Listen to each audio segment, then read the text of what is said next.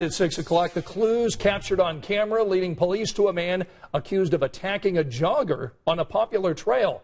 And for the last couple of months, he was still on the loose, creating a lot of concern near Purdue University. Absolutely. The sexual assault took place right off of campus this past summer on the Wabash Heritage Trail. Our Jennie Runevitch shows us the high-tech help police had to track down this wanted man. Well, police made the arrest last night here around 945 at the Briarwood Apartments in Lafayette. The accused attacker, a homeless man who investigators say had been on the run for two months. 21-year-old Leandre Williams now jailed and charged with sexually assaulting a jogger on the Wabash Heritage Trail. Crimes like this just don't happen here. But the crime July 20th had people near Purdue on edge. A woman exercising around noon grabbed from behind and sexually assaulted. The phone in her running belt tossed by her attacker when she tried to call for help.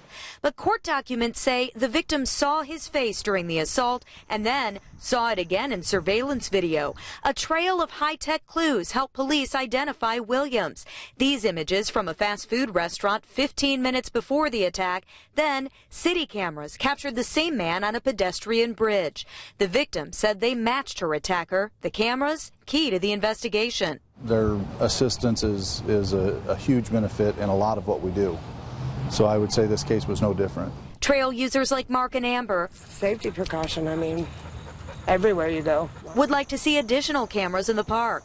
I think they ought to have more, to tell you the truth. You know, even in the trees, you know, have some kind of security cameras, like you a know. trail cam. Like a trail cam or something. In this case, video and police putting in overtime led to an arrest and relief for people who use this popular trail.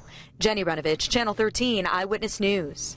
Right now, Williams is in the Tippecanoe County Jail facing charges of rape, attempted rape, and sexual battery, plus for allegedly throwing the victim's phone, which counts as interference with reporting a crime.